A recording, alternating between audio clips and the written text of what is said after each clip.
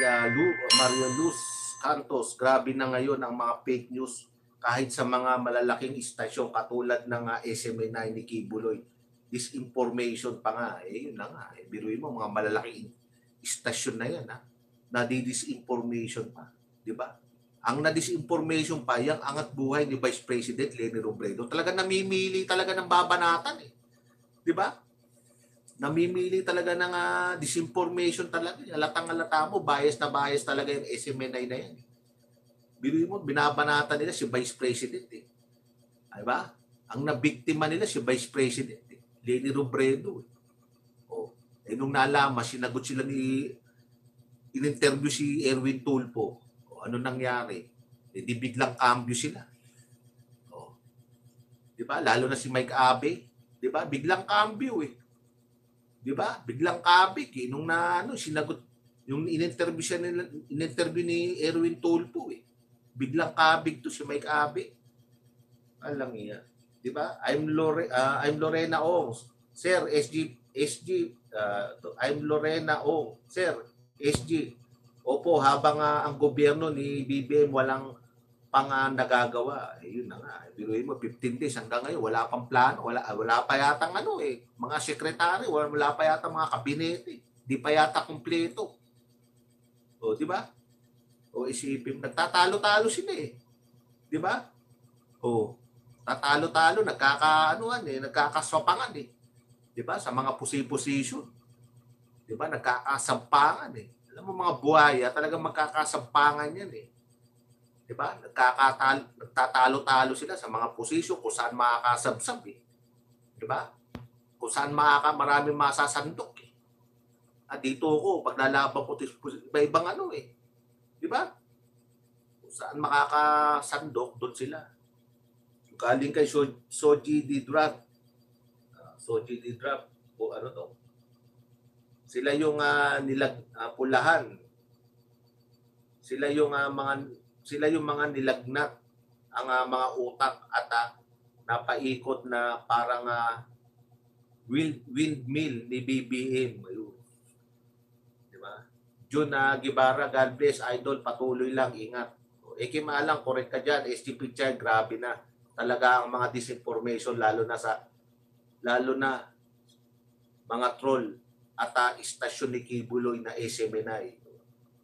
Bid me, uh, ayun na. Memento Villanueva, mahirap talagang ipaglaban ng uh, makakabuti sa Pilipinas kasi majority ang mga politiko ay ang uh, magnanakaw at uh, gumagamit pa sila ng libo-libong mga demonyong troll. Pero we cannot stop fighting for whatever is better for this country. Kawawa ang bansa, bansa natin at ang mga anak natin. Eh, na nga. Talagang uh, pagkaganito ang bansa talagang uh, kawawa talaga mga kakamping. Memento Villanueva, mag-ingat kayo yung uh, mga ginagawa ni Duterte ng panahon diya, gagayahin ng mga BBM administration like tanim witness using the, political al, al, allies and court, PNP, militar, and DOJ. Mabasa, sobrang liit. Mga kamping. Rowena, Rowena Dilig, Tama po kayo, STP Che, wala na tayong maaasahan kay BBM. Pare-parehas ng walang katiyakan. Galing kay Mulo 100, patuloy lang gumagawa ng kabutihan si Ma'am Attorney Lenny Robredo para sa kapakanan ng tao bayan. Eh, yun na nga. Eh, biruin mo. Nananahimik na tumutulong eh. Di ba? Di-disinformation mo pa. Sisiraan mo pa. Tumutulong na, sisiraan mo pa. Talaga itong mga mga troll na to eh lalo na yung SMA, SMA9 na yan, eh, talagang bias na bias yan, mapanira yan eh. Uh, so JJ Drugs, si Kibuloy ang uh, nagpasbas kay BBM, eh, napasa na natin. Eh, Kimalan, maraming naloko si BBM, Kibuloy, kulto. Kulto yan, panluloko sa mga miyembro. O, ayun na nga. Eh, wala na tayong maasahan dito mga kampi. Talagang nga, laganap na mga fake news, disinformation, kasinungalingan. Talagang uh, nanggaling to sa mga troll eh. Mga troll na sinungaling. Kaya kita mo, di ba? Kung ano-ano na lang mga na babali-balita nila. Noong mga panahon na yun, ha, yung mga pangangampanya. kalahati ng kayamanan ibibigay ng mga Marcos pag sila nanalo. Mga huling will and testament. Yun ang mga fake news noon eh. Di ba? Huli, hul- huling will and testament ni Ferdinand Marcos, baka matupad kung sakasakaling mananalo si BBM. May mga ganon. Kada isang pamilya raw may isang milyon pag nanalo. Di ba? Mababayaran daw yung utang ng Pilipinas pag nanalo si BBM. Di ba yung mga ganong mga fake news, yung mga fake news yun, eh, mga gawa-gawa ng mga troll yun. Eh, eh napaniwala. Ah, napaniwala yung mga simpleng mamamayan, mga tindera, mga tricycle driver, di ba? Mga napaniwala lahat eh, sa mga fake news na gano'n. Di ba? 20 pesos ang kilong bigas. Ibig mo yun, 20 pesos ang kilong bigas. Di ba? Ang dami na paniwala eh. O ngayon, oh, lahat ba natupad? Ah, matutupad ba yun? 20 pesos ang kilong bigas? Kahit yun lang eh. Kahit hindi na yung isang milyon kada isang pamilya. Yung mabigat na yun ha, isang milyon. Pag nanalo si BBM Brown, kada isang pamilya, may isang milyon. Eh, mabigat na yun. Biliin mo.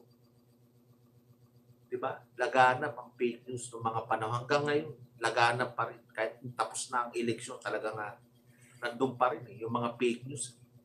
Diba? Talaga grabe. Talaga nga, Rico Bakay, Sir Pichay. Ah, Sir Pichay, yung SMNI, puro fake news po ang mga ginagawa niyan. Mga demonyo yan. Pati Net25 parehas yan. Dalawang ah, channel na yan. Eh, mga, yung mga bongbong Marcos tong mga to, yung mga bias to eh. Di ba? SMNI, bongbong Marcos yan. Oo. Uh, ang ano ko lang mga kakampi, huwag tayo maniniwala basta-basta. Sa ngayon ha, talagang laganap na mga fake news ngayon. Talagang uh, nagkalat na mga fake news ngayon. Kaya mahirap maniwala. Kaya kailangan talaga nga, di ba? Dapat uh, galing kay Leon na NGG, dapat di, dapat diyan kay Kibuloy, Kolokoy, kabayan eh ikulong. Baka magawa na naman ah, baka baka magawa na naman yan ng uh, kabalastugan. Napaki napakiusapan lang ni Duterte yan na Duterte ang uh, ng Amerika para wag yang uh, dalhin doon ngayon. Buhay pa, pa buhay pa pala at uh, puro ngak-ngak pa yung uh, kaso niya. Eh, ito na nga. Ayaw siya nga pagtuunan ng pansin dahil mahina ang uh, sampung taon at paninirahan niya sa bilangguan pag nadala yan sa Amerika. Kung anon kung ako diyan kay uh, Kolokoy ay uh, magtago sa bundok ng Mindanao at sumama sa mga rebelde para militar ang uh, makakabarilan eh. Haba eh. Kaya talagang uh, mag-iingat tayo mga kakamping talagang laganap ang mga fake news. Disinformation Huwag tayo kaagad-agad na ano, maniniwala. Grabe. Oh. Libre, ano, lib, Libra Girl. Good morning, SDP Chai. Subscribe today from uh, Japan. God bless you. Maraming salamat. Maraming salamat din, ano, Libra Girl. Badong Fortes, ganyan ang mga utak ng kampo ng kadiliman. Ang gumagawa ng mabuti ay pilit nilang uh, inihila sa kasamaan, ganyan na si Satanas, eh, na nga, gumagawa ka na ng kabutihan, eh, di ba? Pagbibintangan ka pa, di ba? Hindi mga gago itong mga to, eh, di ba? Si Vice President, bili mo kung sira, okay lang kung totoo yung ano eh. Totoo yung paninira nila, eh, hindi na nga totoo, fake news na, sisiraan ka pa. Okay lang, okay lang manira kung totoo yun. Eh, hindi. Di ba? Siniraan ka na, hindi pa totoo. Yan ang mahirap, bro. Marilulus, Cantos, eh, ang SMNI wala nang gagawin yan. Istasyon na yan kung, mag, kung magpalaganap ng uh, disinformation sa taong bayan. Manira kaya Attorney Lenny Robredo, eh yun na nga. Di ba? Eh, kung manira to talagang sagad eh. Ha? Sagad sa kahiyupa kung manira ito. Itong SMNI na talagang bias na bias to. Di ba? Paano nila siraan si Vice President nun eh? Ba? Keso ginagamit na yung DSWD. Paano mo gagamitin yung DSWD? Ano eh, pararatingin mo pa kay, ano, dadaan pa kay sa angat buhay yung uh, donasyon ng DSWD? Ha? Dadaan muna rin sa angat buhay, pwede ba yun? Kundi mga talagang tarat. Di ba? Isa page, kamusta? SGP Chay, yung uh, bagong 1K na pera, yan lang ang ata ang uh, perang tatanggihan ng tao dahil sa nagmamal na, nagkamalas-malas. Eh, yun na nga. Eh, si Raul yung gumagawa nun eh. Di ba? Biruin mo yung pera, bawal malukot. Eh, isipin mo, kundi mga luko-luko itong mga to, kung ano na lang naiisip eh. Ha? Eh, ilang araw na si BBM? 16 days ha? Ha? kung ano no mga naiisip, yung palang ang mga naiisip, puro puro laban ha, puro laban sa mamamayan. Ha? Puro pahirap sa mamamayan. Pero yung gumawa ng pera, bawal malukot. Kundi mga gago itong mga central bank na to. Ha? Pag, pag nalukot mo, makukulong ka. Bulta ka pa. Eh, pag nakulong ka, bulta ka pa, syempre, nakulong ka, magpapiyansa ka pa.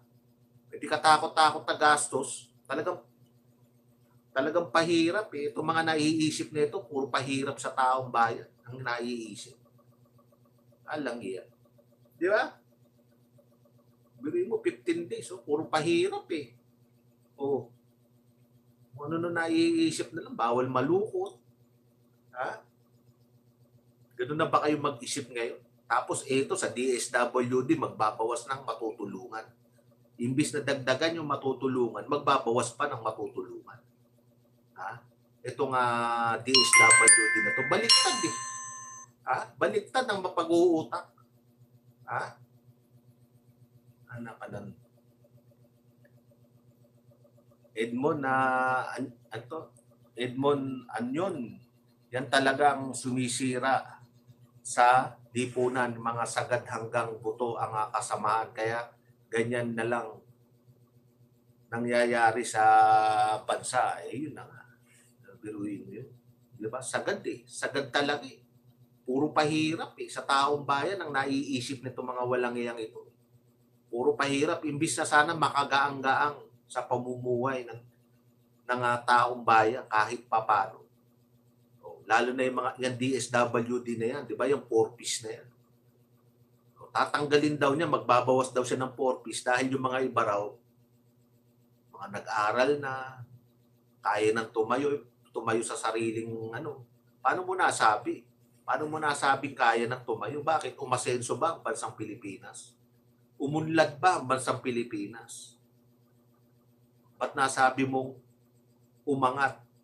Ba't, paano mo nasabing umangat ang mga tumatanggap dati ng 4-piece? Yumaman o nag, ano na, uh, nagkapera na. Paano mo nasabi? Oh, yun ang ano natin eh. 'Di ba? dapat nga lalo mong tulungan dahil sa hirap ng buhay ngayon. Dapat lalo mo pandagdagan ang matutulungan ng purpose na yan. Hindi ka hindi ka magbabawas ng uh, matutulungan. Baliktad eh. Puro baliktad eh. Ang uh, naiisip eh. 'Di ba? Puro pahirap eh. Sa taong bayan. 'Di ba? Kundi mga talagang lahat na lang eh, no? Kaya dito, ako po, mai-stress ka mga camping sa mga sa mga ginagawa na itong mga hayop na to talaga mai-stress. Bawal malukot yung pera. Pag nalukot bulta ka kulong ka pa. O, pag nakulong ka magpapiyansa ka. Syempre makakala pagka lumaya sumulumaya magpapiyansa ka. O di pera na naman. Naku di ba? Puro parusa eh. Ha? Puro parusa sa taong bayan. Tapos ito, magbabawas pa ng 4 piece. Eh, yung babawasan mo, kung yun lang ang doon, yung babawasan mong 900, ah, 900,000 ang babawasan mo. Eh kung yung, yung, yung 900,000 na yun na babawasan mo, yun lang yung inaasahan nilang makakaano sa kanila, makaka, makakaginagamit nila. Yung 4 piece na lang, yun, yun lang ang inaasahan nila. E paano ngayon yan? Tatanggalin mo pa. E di wala na malalamon yung mga umaasa dyan sa 4 na yan. Di ba? Dapat nga lalo mong palawigin eh, lalo mong paramihin. Dahil sa hirap ng buhay ngayon, lalo mong palaw, palawakin pa yung purpose na yan, lalo mong dagdagan pa ang maka, makakatanggap ng purpose na yan. Dahil sa hirap ng buhay ngayon. Hindi yung pabawas. Ah, tapos mag-ano pa kayo, magre-reward pa kayo. Isumbong daw eh, yung mga dati na tumatanggap na nakakatanggap, isumbong. Walang iya itong mga naiisip talaga na itong mga to, talagang pasakit eh. Ba? Pasakit sa taong bayan, pahirap. Imbis na makagaang-gaang ha, ang pamumuhay ng taong bayan, ito, pahirap eh. Hmm. Lodelita Bindulo, Kilos Pilipino, wag umasa sa gobyerno. Ibubulsa lang nila yan. Eh, yun na nga. Eh, wala na nga tayong maaasahan ha. Ito ha, wala na nga tayong maaasahan sa gobyerno tapos ganito pa ginagawa sa atin. Di ba? Kundi mga walang iya ito. Hindi na nga tayo umaasa sa tutusin na nga, hindi na nga tayo umaasa sa gobyerno. Marami nang di umaasa sa gobyerno. Kung tutusin, marami nang di umaasa sa gobyerno. Pero ganito pa gagawin sa'yo ng gobyerno. Gagawa ng pera, pag nalukot, ikukulong ka. Ha? Bulta ka pa. Alang iya talaga. Oh. Di ba? Uh, William, uh, William Garay, desperado at uh, inggit kasi wala na silang uh, proyekto idol nila. Inuna pa ang uh, palit uh, inu, inuna pa ang uh, palit ng pangalan ng naiya. Isulong ang tsatsya. Ibig sabihin wala nang uh, platform, wala nang kakayahan.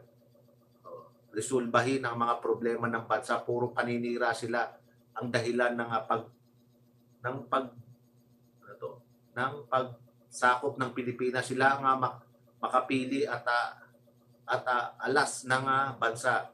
Si Pastor Abu Pastor Abuloy puro kasinungalingat at at uh, kaso ang uh, kinakaharap sa Amerika. Child abuse human rights smug smug smuggle na uh, pastor ng uh, kulto ni Lucifer. Ayun tama kay tama po kayo yung Tama po kayo, SG Pichay. Buhay, NGO. Maraming uh, magagawa. Salamat. God bless. Eh, na nga, isipin mo. Eh, walang ginawa eh.